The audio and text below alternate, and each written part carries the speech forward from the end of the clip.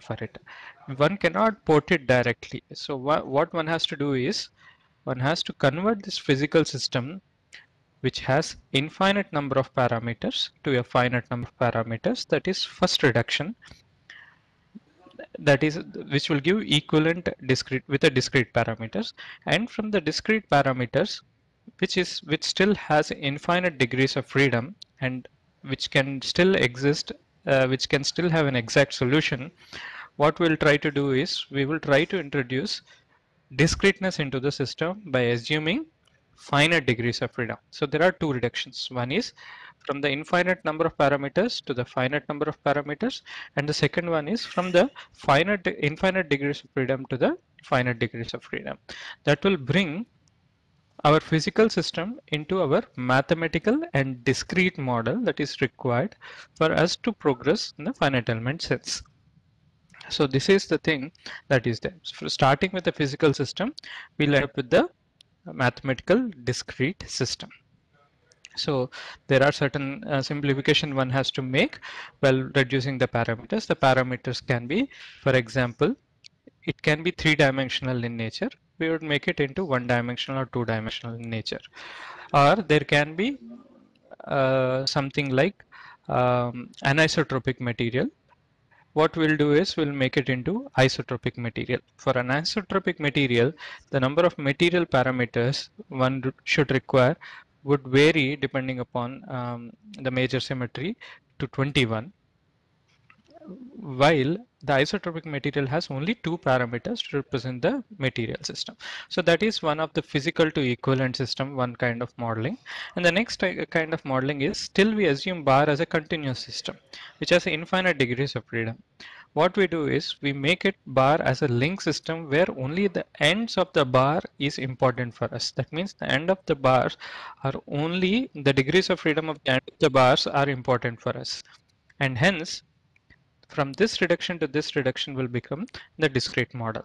So when we are making these kind of things, sometimes it works, sometimes it doesn't work. Whenever it doesn't work, we have to loop it back to check the accuracy of the system because there is something X is there which is a physical model. We will be modeling something called as Y by assuming certain simplifications and approximations. We have to make sure these assumptions and simplifications will not make our solution much different from reality. To make sure we have to have some accuracy checks. So with this, uh, I would try to proceed into the next slide, which would be some more examples of your physical systems.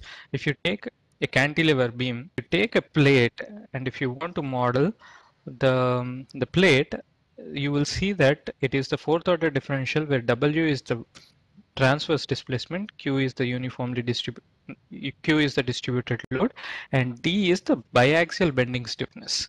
This is the biaxial bending. So these are other kind of things these things you might have already seen it but you have to realize that this is your actual physical system and this is your mathematical system this to this is an approximation or a simplifications involved in it okay so next further the numerical methods for modeling any physical system can be broadly disc uh, discretized into several things the first one would be, I would say, finite difference method.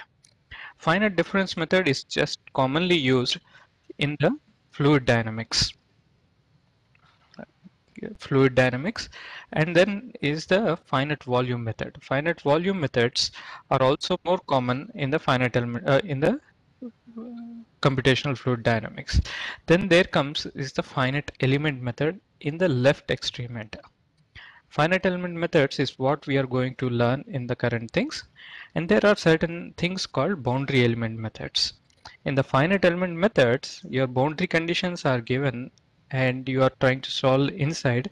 Similarly, in the boundary element boundary element method, it is quite different from from the finite element, where you try to populate your solution starting from the boundary. Okay. Anyway, this is not current scope of our course, so this is just an idea to show that finite element belongs to these class of things. And further, there are certain methods called meshless methods in which generally in this finite element or boundary element or FEM and FDM, we'll have at least cells or elements or nodes and certain like things. We'll have cells or elements into the picture. However, in meshless methods, we don't have anything called as cells. So there are these things are also useful for dealing certain complicated problems. Again, this would be out of the current scope. So then further, this finite element method and boundary element methods are can also be combinedly used to solve you know, to come up with some hybrid finite element methods. These are advanced topics which will help you in solving some complicated problems dealing with um, singularities, jumps and other things. Uh, but finite element method is mostly used when the system is continuous system without having any discontinuities. So finite element is mostly popular. This part of the things, the left part, the left part of the things are mostly prevalent in the solid mechanics area, while the right part is mostly used by the fluid dynamics people. However, if someone wants to do fluid structure interaction, one has to club all these methods to solve a real world problem. Generally, these problems occurs in the aerospace where you have both structure interacting with the fluid and vice versa. So anyway, the scope of this uh, current course is related to only finite element methods. However, I want to re-emphasize that that any physical system can be modeled using one of these numerical methods. All these are numerical methods. These are not analytical methods and one can use one of the suitable methods, sometimes more than one, to solve a given problem. Okay.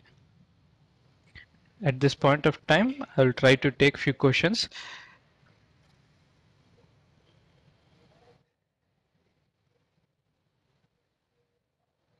It is this is its mathematical model. This is a two-dimensional plate problem and this is its uh, mathematical description.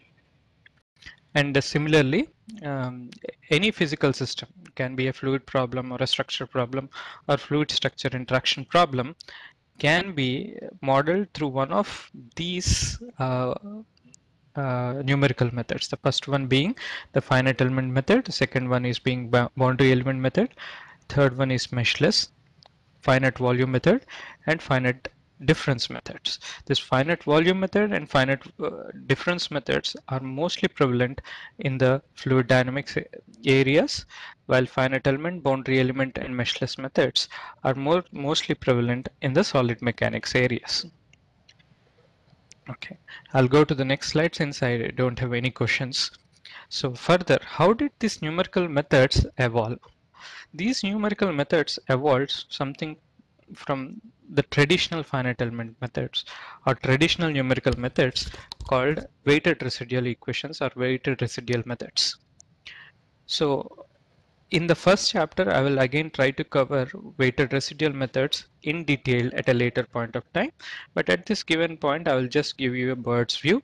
So you take weighted residual method, which is nothing but an approximation like yesterday in the previous class I have given that instead of uh, grading each and every individual for passing the course for 50 instead I put it a group of four to evaluate the people. That is one form of weighted residual form sense. So in the weighted residual sense you make some local approximations through certain functions.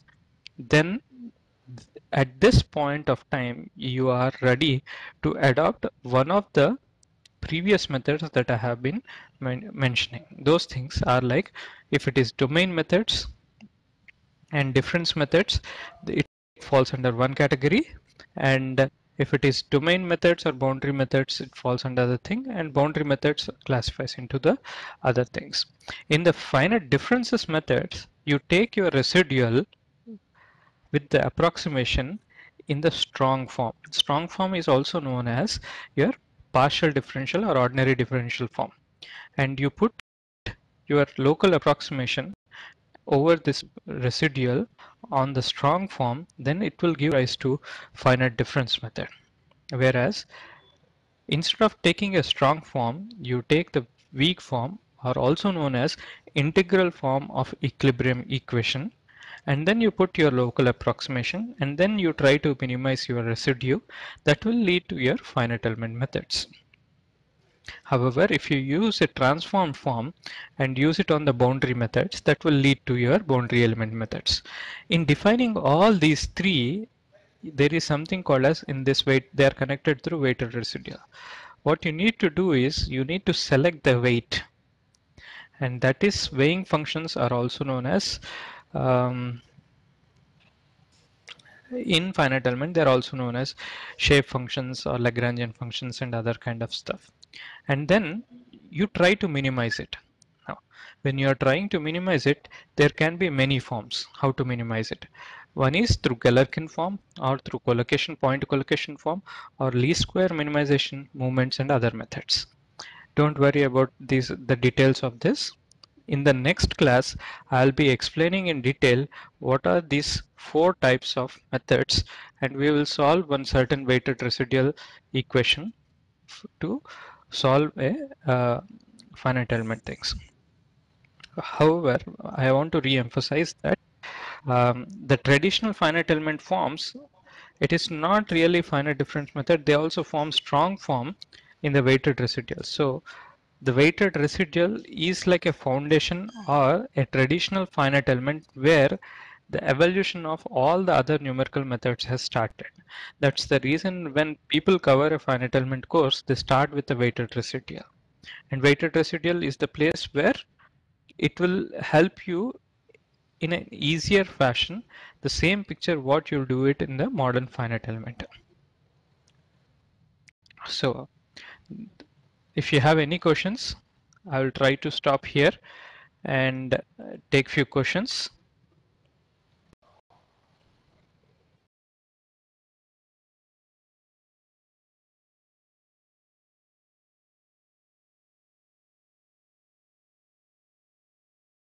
manner you take your continuous model and you try to mimic it with a mathematical model as, as exact as it possible sometimes you need to make reductions. If you do without any reduction, if you try to do it, it will be 3D model. And while, as while explaining all these things, I'm assuming that I'm only in the linear domain. Uh, non-linearities are not considered. So that's the reason here it has been mentioned elastic theory. So don't worry about uh, plasticity and other things. I'm assuming that I'm in the elastic or the linear domain. So if you want to model 3D, that is one way to do it. Otherwise, you can go for the asymptotic models. The asymptotic models can be reduction from the three dimension to either one dimension of state or a two dimension of state. For example, if you take a slab or um, a roof, you know that the length and width is much higher than the thickness of the slab. In that cases, you can model a 3D as an equivalent to a 2D model by assuming appropriate plane stress or plane strain or a shell theory. How, at the same time, if you look at a beam or a column, they have x and y direction, the cross section dimensions are very small compared to the longitudinal or the x direction. That's the reason that we can model it as one dimensional model such as bars and beams. So from the continuous exact model, we can reduce it to asymptotic models to 1D or 2D and further we can discretize it through proper discretized models which we descri described in the previous stuff and then we can appropriately model through finite differences elements or boundary element method.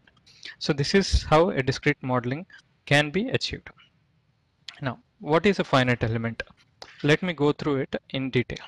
Now, in finite element, there can be two things. Sometimes you may be modeling a physical system. Sometimes you may be modeling a mathematical model. So a finite element is nothing but a numerical analysis technique for obtaining an approximate solution to wide variety of engineering problems. An engineering problem can mimic a physical system. An engineering problem can be a mathematical model. So as I said, even in the previous class, finite element is a magic wand that is true, but it may not give you an exact solution. It will only give you an approximate solution. But the purpose of um, analyzer is to make sure that it matches with the physical or a mathematical model as closely as possible. So if you look at into a physical system, on a physical system you apply a finite element method and try to discretize it to create a discrete model. And on the discrete model by applying appropriate loading and boundary conditions and through finite element formulations you try to seek for the solution. And the solution that is obtained is a discrete solution. Because you are starting your question is a discrete model your solution will be also a discrete uh, solution and then you have to make sure that the errors are limited between your discrete model and the discrete solution. And you need to understand that your discrete model may be not really mimicking your ideal mathematical model okay? So but one has to as I shown in the previous thing one has to um, do a reality check once in a while so that they match as closely as possible Further, from the discrete solution, when we map down to a physical system, you can see that there are several different things. That is, one is modeling error, which is from here to here. This is a modeling error. And then from here to here, there is a solution error. So that means this is your solution obtained and this is what you started with. So your total simulation error consists of a modeling error and a simulation error. So again, as I said earlier, we have to make sure that the total error has to be minimized. Sometimes this modeling may be too high, sometimes this may be too high. Not necessarily every time your error comes from this to this. It may be because of this also. So your total error consists of a modeling error as well as solution error. Similarly, if you look at a mathematical model, on the mathematical model, created discrete things with certain inp inputs from the ideal physical system and then you seek for your solution. Now when you are doing these things uh, you obtain the solution again as I as we seen here there can be a solution error and further when you are going from the discrete solution to the mathematical model, which is a continuous thing, you can end up with the discretization errors. So your total solution consists of discretization error plus solution error. So one has to again make a reality check so that this error can be discrete, can be minimized as much as possible. So this will lead to your discretization from continuous model since you are generating a discrete model this will lead you to uh, this will bring in a discretization error. This will bring you the solution error. So one has to check which one is significant and try to do verification checks to minimize such kind of things. This is what is finite element. Either you can operate on a physical system or operate on a mathematical model. And these are the two things which generally you see in the engineering problem. And this is how you model it. Now what are finite element, element methods? So let me just wait here and take any questions before I move further. Just now finite element method let's this is one of the tooth of a gear or uh, yeah you can consider it as this is the tooth of a gear now this is one unit and what you have done is you have divided this structure using an element. This is a typical element which is shaded gray. And you can see round dots which are nothing but nodes on this elements so that means your entire domain is discretized into few elements. And the element constitutes of nodes. Now what you do is on this you apply piecewise functions at each and every element level and then obtain your equilibrium equation in discrete sense. Once you get your discrete sense, now you have to reconnect it all these elements to obtain I that means let me tell you again I have equilibrium condition in the discrete form ku is equals to f in this element, in this element, this element, this element.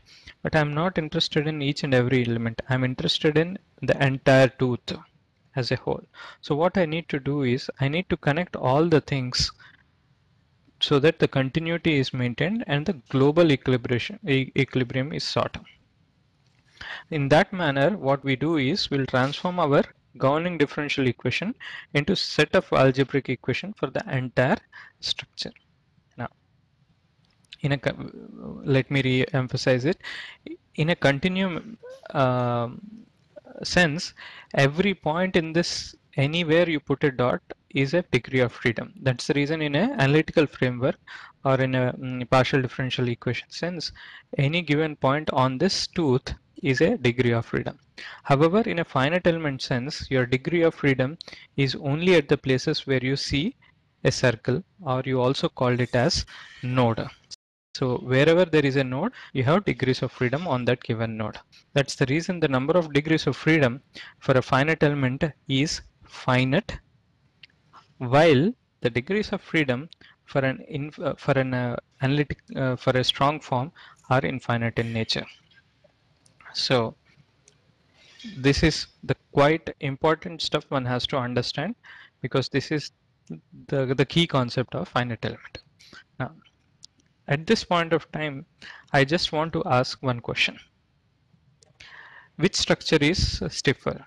Is it FE model or continuous model?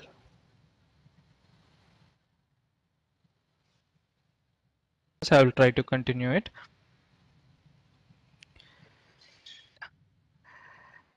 What you do is you tie this thread to slightly to a matchsticks.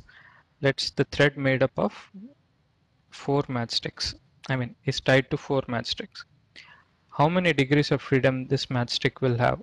Uh, the thread which is tied to the matchstick.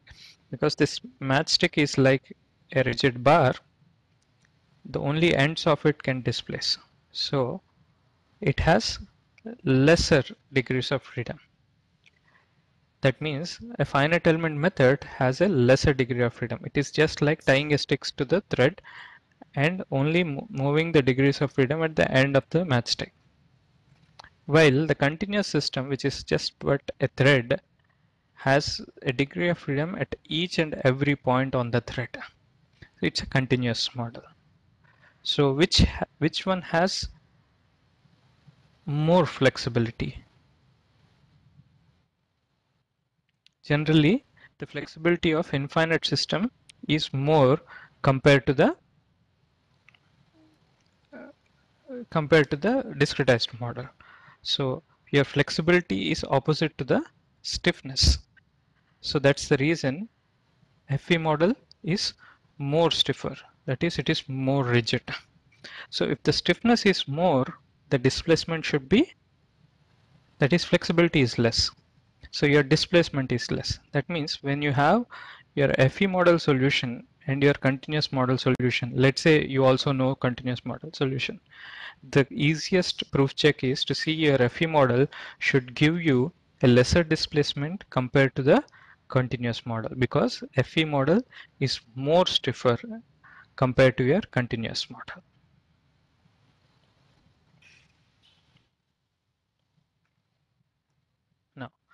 Why one has to use a finite element method?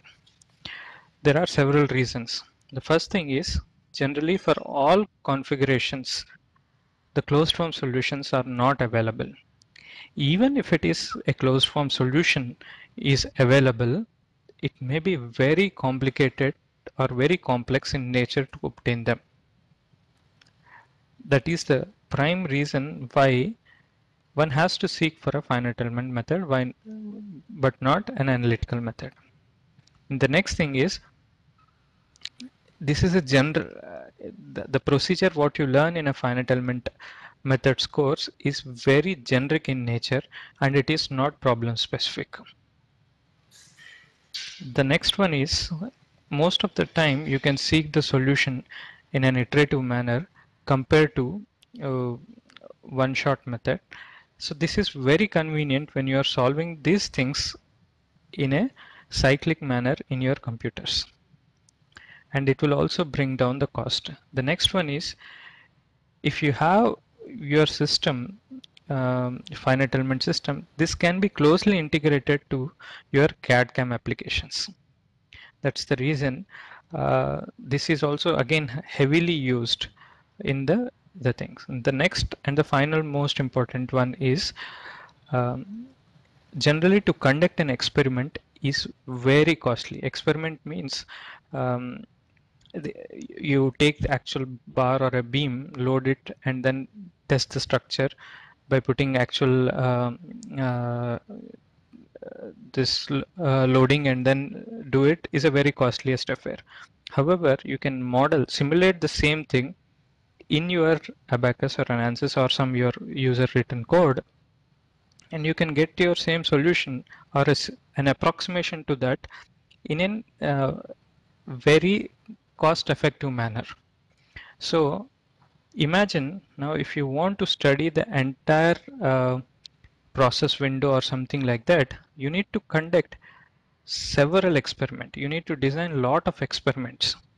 And these experiments, if you are doing in real, then imagine one experiment if it cost one lakh, 100 experiment would cost, cost you a crore. Right. But you don't, with the finite element, it would not cost you that much. You do it once, you can do a parametric study through design of experiments and you can run for several cases and it is not as costly as your actual experiment in nature.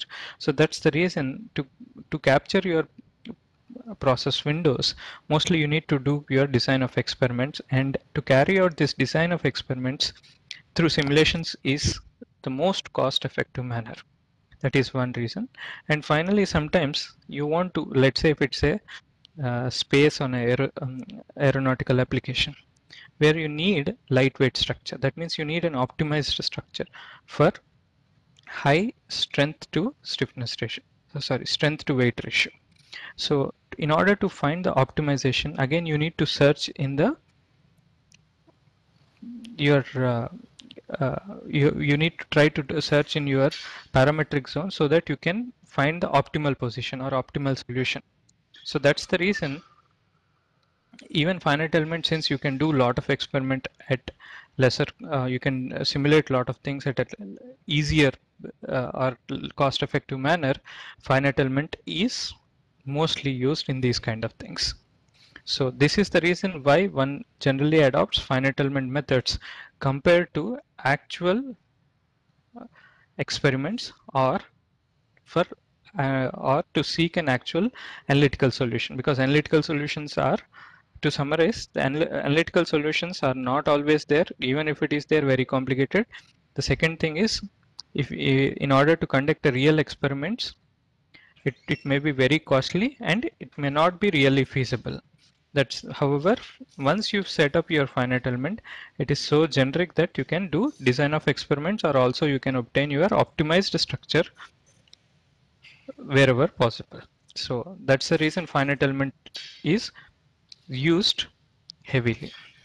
Now, what are the applications of uh, finite element methods? The finite element applications you can see in several domains like mechanical, aerospace, civil, automobile. And in these things, you see several things like structural analysis, like static analysis, transient analysis.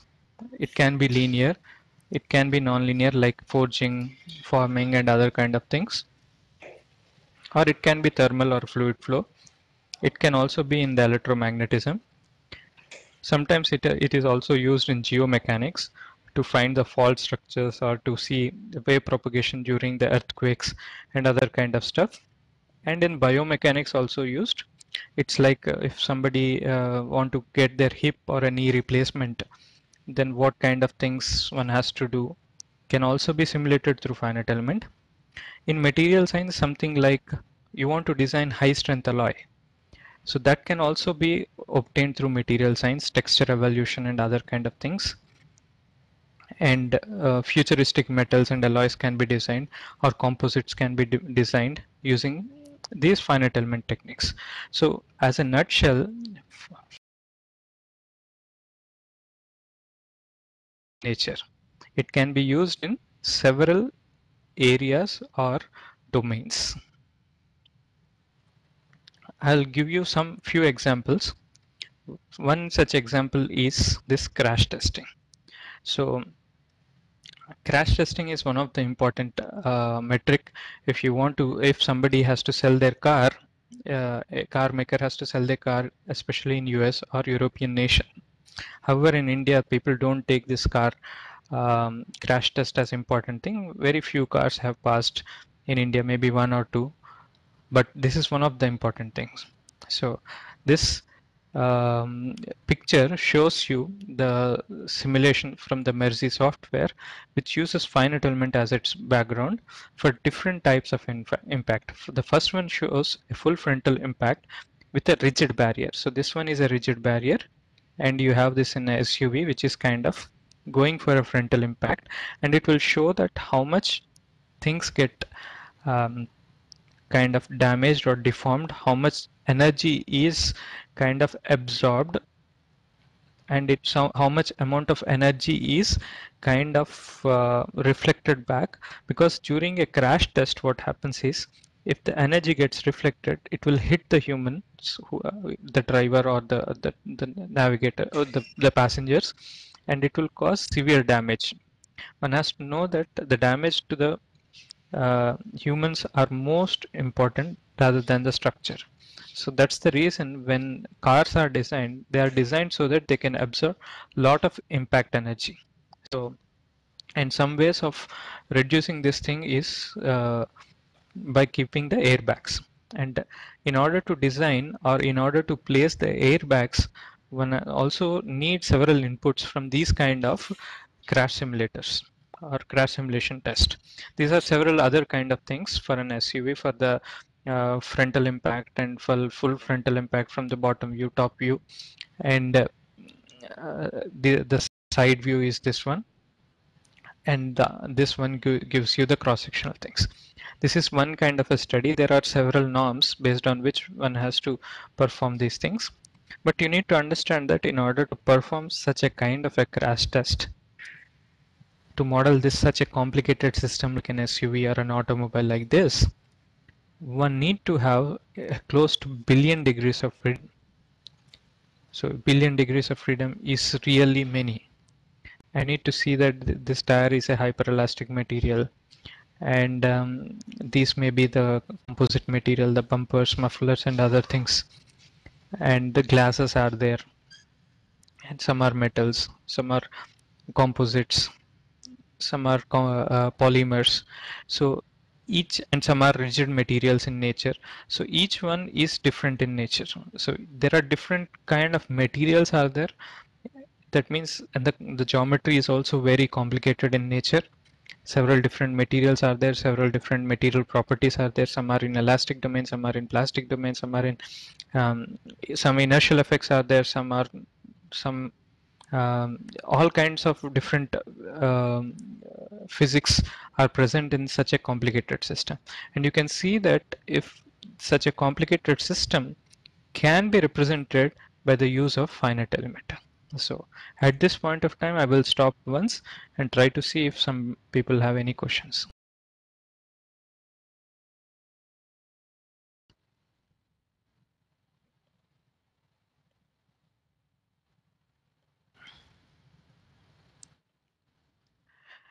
Sometimes I've seen some kind of software people coming to me and uh, saying that I have put uh, billion degrees of freedom, million degrees of freedom, and I guarantee that I'll get an exact solution. But I don't reply them back because I mostly we know that it gives you an approximate solution, but not necessarily by increasing to infinite degrees of freedom, it will never give you finite solution because there can be a discretization error, there can be solution error, there can be many things. So only in the case if you reduce your discretization error, solution error, truncation errors, modeling errors, you may be uh, putting million degrees of freedom, but an elastic material, uh, uh, elastoplastic material is modeled as only elastic material. It may not give you the exact solution. So as a as a engineer you should able to judge that what you got as your solution does it make sense within the given assumptions or not is the first thing. And are these assumptions really make sense? Can you reduce this constraint so that can you bring it to the reality? Yes or no? You one has to closely check. And by the end of this course you should able to understand what you got is a real solution or is some numerical artifact that is most important. Okay? Because most of the time as an engineer you will be reading the results of some others analysis element analysis. And this is one of the crash tests where there is no human dummy present in it. Sometimes you need to also understand uh, some crash simulations are there where they also keep human mannequin sometimes they model it as a rigid material. Sometimes they model it with actual degrees of freedom so we also do full musculoskeletal modeling and also tissue modeling, which all can be solved through finite element. If you assume a passenger sitting inside and he is also modeled as a structure, as a deformable structure. And due to this impact, we can also model what amount of impact and what kind of injuries he can take or it will it will give it to him. And to avoid such kind of things how you need to design your airbags how you need to place your airbags so that the impact or the injuries or the damage coming from such a kind of impact can be minimized. Important in the automobile industry let's say one one wants to do a manned mission to a Mars or and you see when you are sending some uh, astronomers or uh, to uh, to the space and you are you you have to retrieve them also because it is very costly to send them. Manned missions are always always very costly in nature you have sent somebody to learn something and you have to retrieve them safely. That is your main goal. If there are no human in it maybe it can also crash land because the data would have been retrieved through wifi uh, through some kind of uh, uh, i mean communication protocols. However the amount of knowledge one human gains is much more important and you have to retrieve them this person as safe as possible. So even when you are kind of uh, re-entry and through um, crash landing into the ocean or something like that you need to design the inside of the cabins in such a manner that it can take 3G or 6G or 12G kind of an impact and all this kind of uh, different maneuvers that they can go through it. These things are also important while somebody is designing the ergonomics for a fighter aircraft and something like that. So finite element is these kind of things are can be applied in several different areas. I think some of you might already been using your uh, using finite element to solve different kind of problems. So this is one of the application. The other application is like electronic electronic packaging. So excuse me. Electronic packaging is nothing but nowadays everybody has a cell phone or a laptop or some kind of a desktop. All these things inside there are millions of chips transistors. All these things have been packaged to give certain usable device. So all these these things comes under electronic packaging.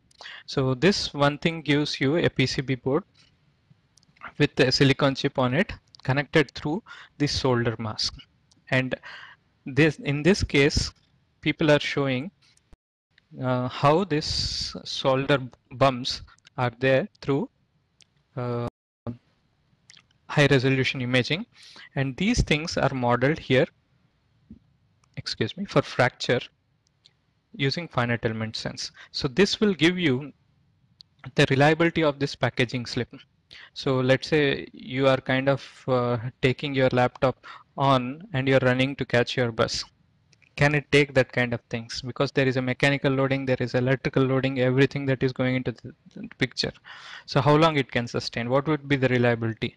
Imagine once you uh, take this laptop running to your uh, and catch a bus and it stopped working.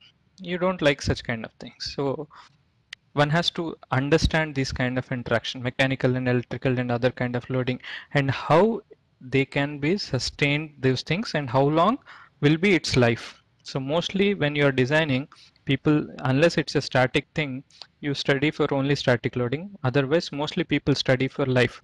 Once you study for the life the reliability and other things will come into the picture. So this is one kind of things where people have studied your solder solder bumps using a finite element sense to see how the cracks form. When the once the crack is formed, the interconnect is broken. Once the interconnect is broken, this is a broken circuit and it will stop working. So that's the reason these kind of problems can also be studied in the finite element and these are not limited there are many more i'll show one more thing for example a turbine blade earlier in order to find the uh, generally the turbine blades um, are kind of fixed through interference fit. When you do such kind of interference fit you will see lot of residual stresses getting developed.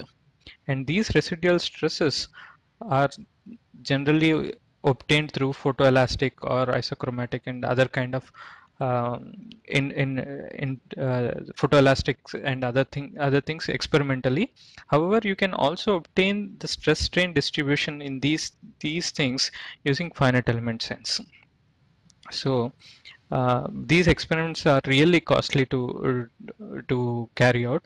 However uh, one can also conduct using the the same blades a finite element analysis and then also obtain your stress strain curves.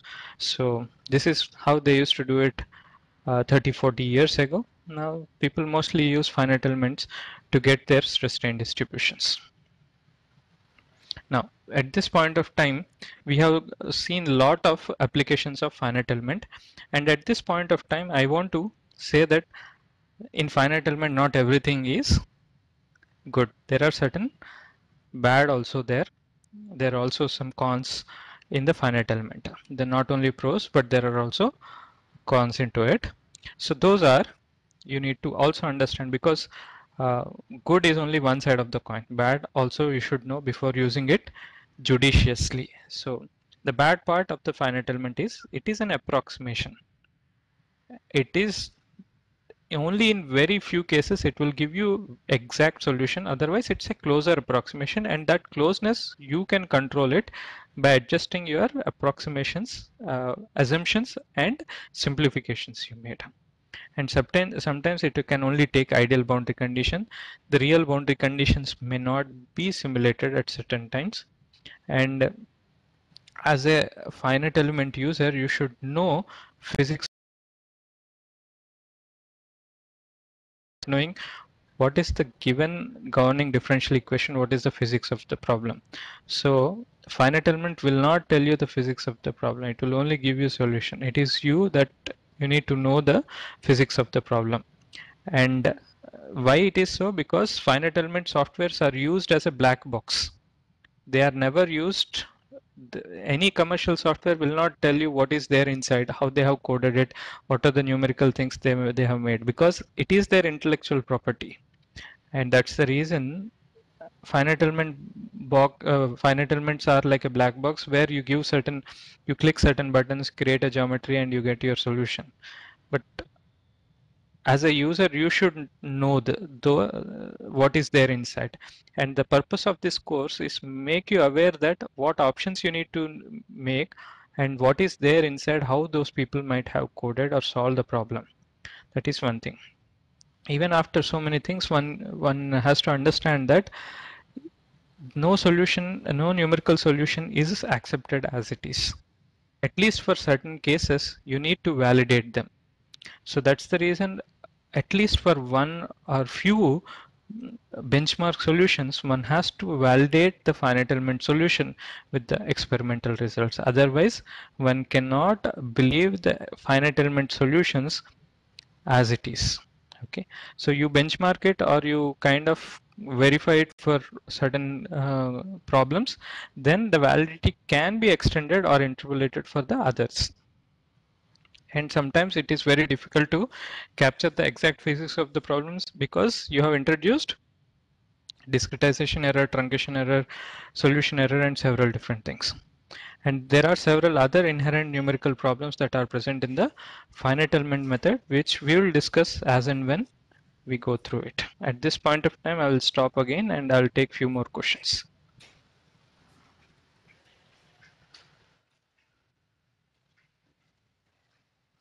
And uh, we have seen that it is used to solve several different kinds of problems uh, one from aerospace one from uh, automobile several different arenas like material science packaging industry and other things. Uh, and then we also looked at the limitations of finite element. Now we want to go further. We want to really learn what is finite element. So let's start uh, let me help you through FEM through structure in structural analysis. So I will list it out in this slide and uh, you describe the variation of the field variables over the each thing by assuming a piecewise polynomial because any function can be approximated by polynomials the same thing you are using on your field variables.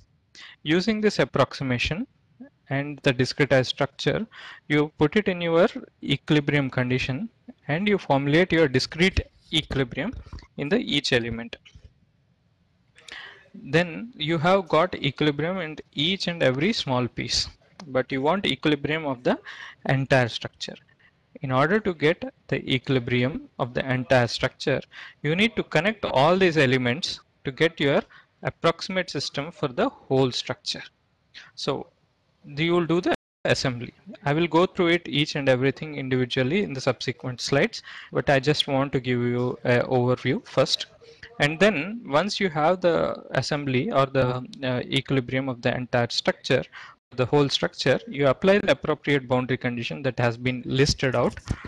And then you solve for the unknown degrees of freedom or unknown quantities at the nodes and once you know the uh, solve for unknown degrees of freedom then using this after solving the for the unknowns you also determine the unknowns. Once you know this unknowns you estimate the desired field quantities like stress strains reactions and other things into the picture. So this completes your finite element in the structural analysis. Now let's go into the concept of finite element in a closer view and then try to understand in much more details now, consider any problem like an elastic problem or a thermal problem, fluid problem, any given thing like an electrostatics or biomechanics, any physical problem or an engineering problem can be described by this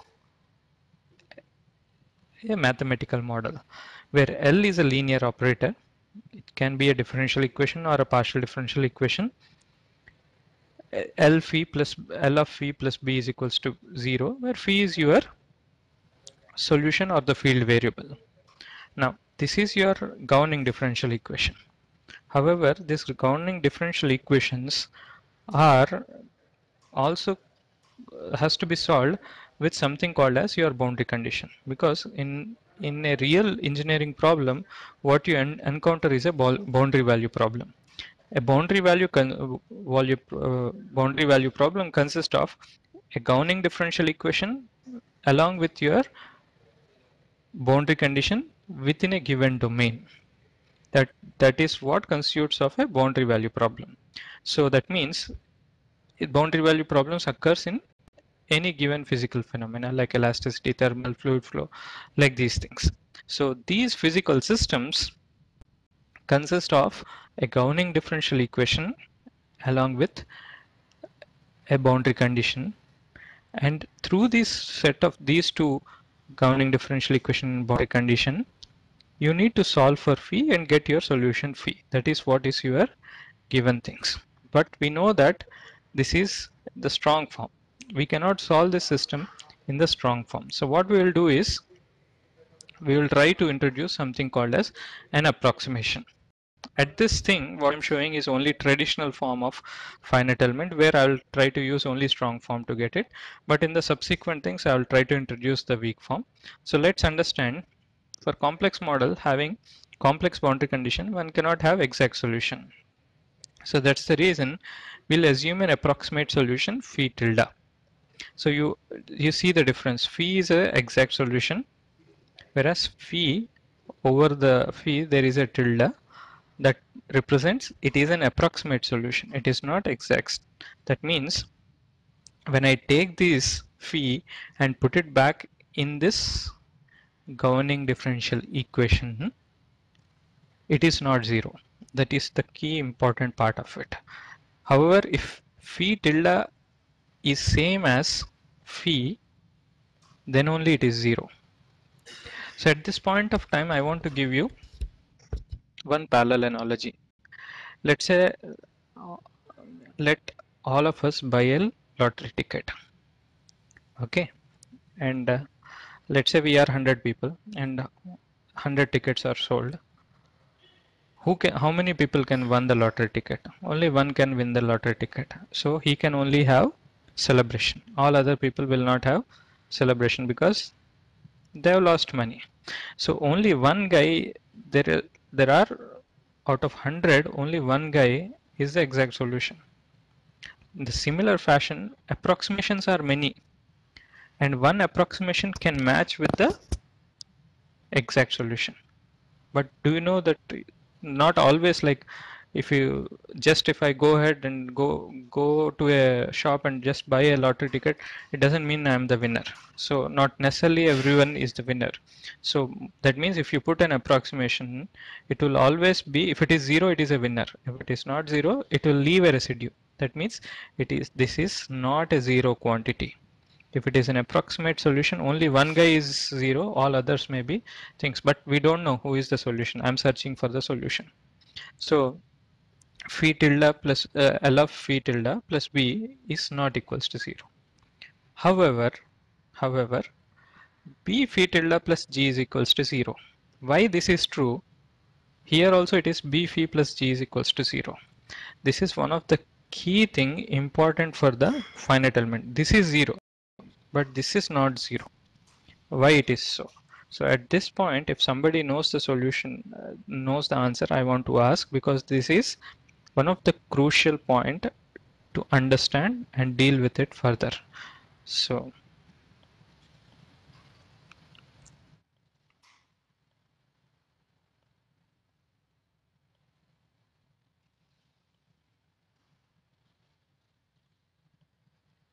why?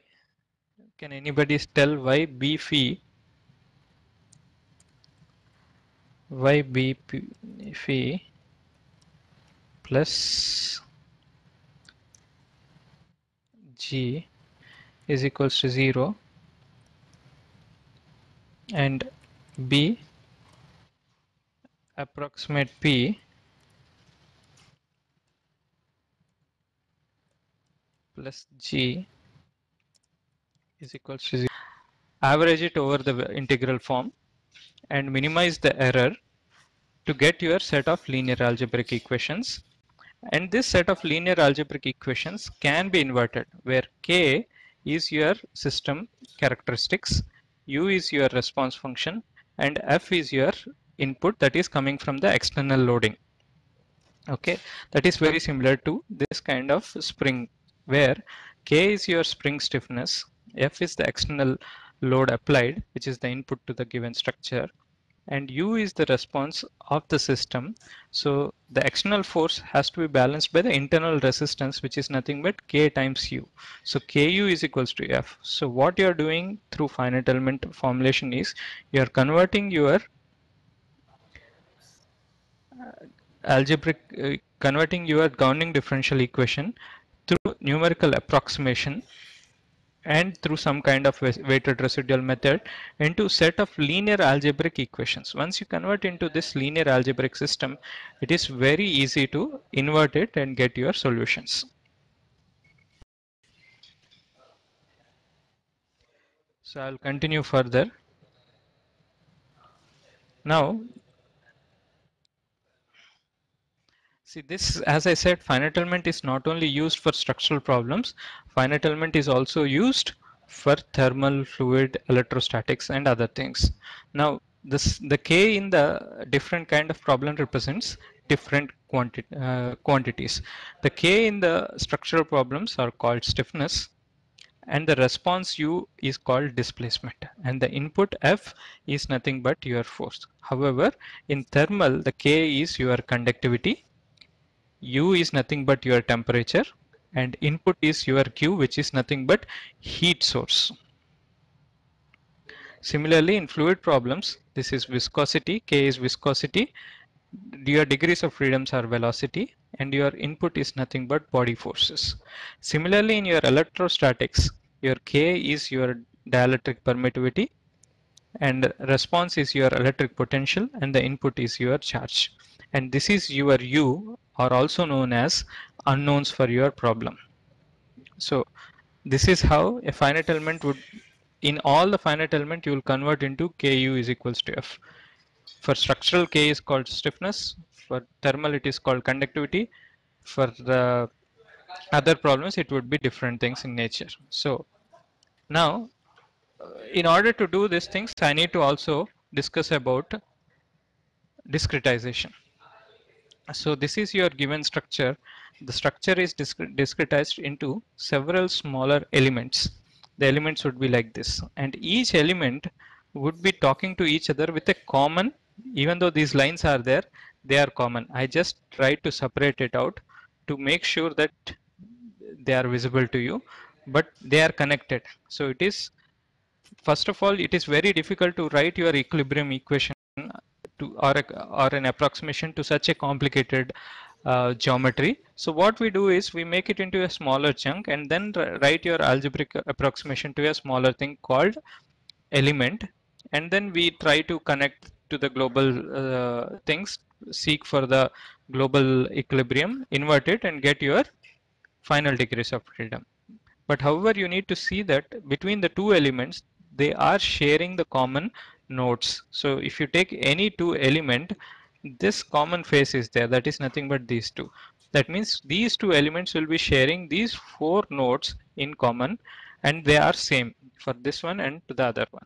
Using this discretization will help you to help you to deal with the assembly. For example, for each and every element you have your local equilibrium for this element is Ku is equals to Fe for this element it you will have your different ku is equals to fe so you take these two not, not only these two all the things in this thing and assemble in the global sense. By assembling it you will get your global stiffness matrix. And how do you get this uh, assembly done? With the help of element connectivity matrix. At this point of time it is too early to explain what is element connectivity matrix. But at later point I'll try to explain what is this element connectivity matrix so that one can perform assembly. Now this is one such example where uh, I'm one example where I'm showing how an actual bolted joint is modeled and you have um, a contact in between your thread. So uh, between the bolt and the nut, this thread has a contact and this contact can also be modeled through finite element methods. So this is an enlarged portion of this bolt and nut contact region and you need several refined elements and a um, contact elements to transfer the uh, load from one surface to the other surface through certain contact formulations. So this is one of the advanced problem. These problems is also can be solved through finite element. Now I'm we are coming to the end of the uh, the things. Let me give you brief about the history of finite element. Actually, the finite element have been started long back in 1943 by Courant by starting the variation principle. So variational principles are the principle where first people have converted the strong form into the weak form. That is the, the starting point where people have started figuring, figuring out that the strong form is not good form to solve the set of equations. Then later in 1954, Argyris has started using matrix method. Maybe you guys might have studied energy and matrix method as a part of your course curriculum. That is a precursor to the finite element. So in 1954 these methods has been started. Further by turner Clough, martin and others stiffness has been introduced. And it has uh, from that time onwards this has started uh, the from the traditional finite element the Galerkin forms has been uh, started developed during the 1960s and other part of time.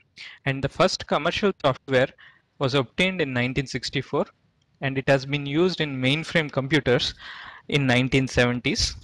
Imagine that time the, your mainframe computer would be very big, uh, would be occupying very big hall. The amount of computing it would do is much smaller than the cell phone you have it in your hand codes and convert the algorithms into the machine language and crack the numerical um, computing and get the solution back. Now modern computers are much more sophisticated and easy to work with, uh, user friendly to work with. So anyway, these are the things and the major development has started something from the 1970s onwards and there are several uh, increments of the advancement of the study has been of the subject has been done in the later years of time. So before we close, we, I need to explain that there are two different formulations mainly in the finite element formulation. One is displacement method and the stress method. If you look back, when I'm saying Ku is equals to F, I developed it assuming my unknown degree of freedom is U, which is nothing but displacement. Mostly displacement framework is used in finite element. So at this point of time, I will stop and try to take any questions if you have.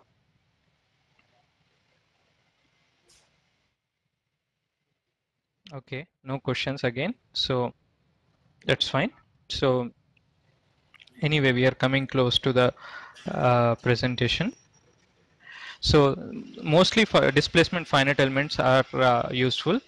Uh, sometimes uh, people may also require uh, uh, stress-based finite element or flexibility method. If it is displacement method, it is called stiffness approach.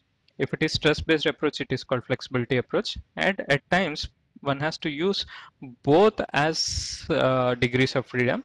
These are generally required when you are handling problems like uh, um, hyperelastic problem where you require UP formulation where U is displacement, P is your pressure, where which it can be classified into mixed bond, uh, mixed formulations.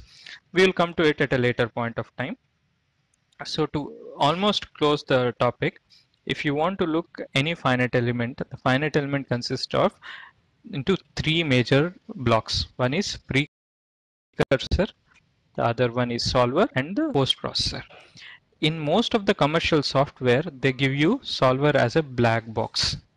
You don't know how they are doing the assembly, how they are solving, uh, how they are solving, how they are framing their formulation and other things.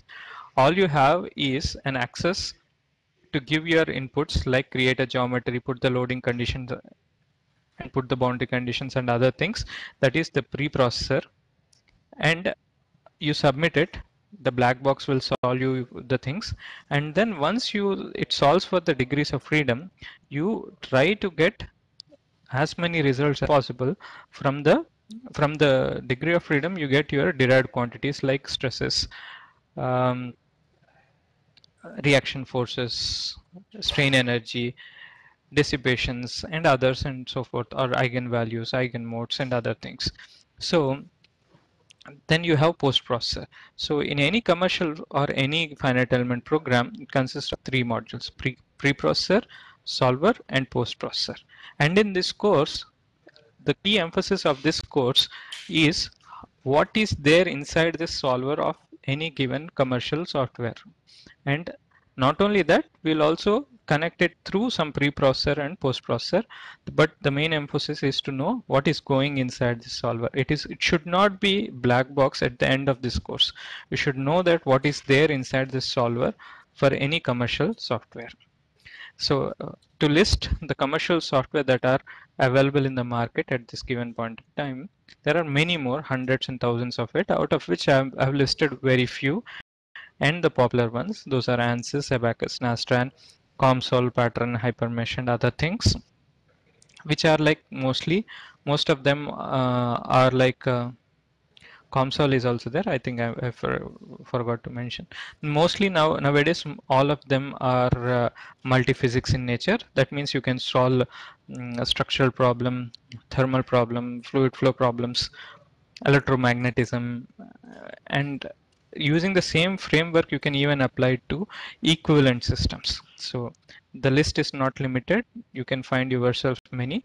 But uh, the most important ones would be like ANSYS, Abaqus and COMSOL would be um, Nastran and uh, MSC uh, Nastran and Patran would be the more, more uh, uh, popular ones.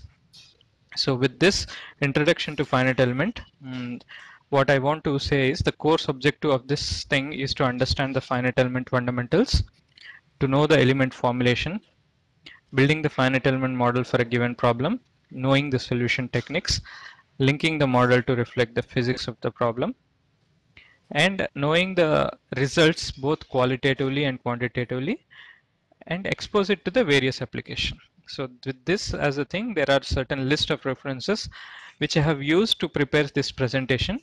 And at this point of time, I am ready to take a lot of questions from you.